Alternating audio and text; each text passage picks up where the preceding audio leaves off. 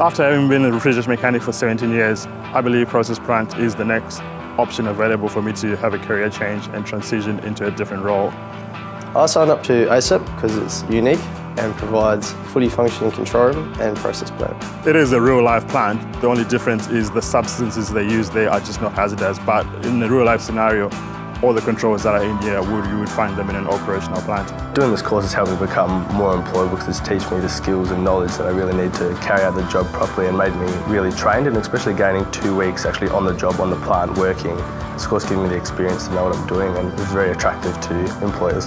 After this course, ACEPT provided me uh, some extra skills to try to get a job back in the resource industry with uh, one of the major companies as a traineeship.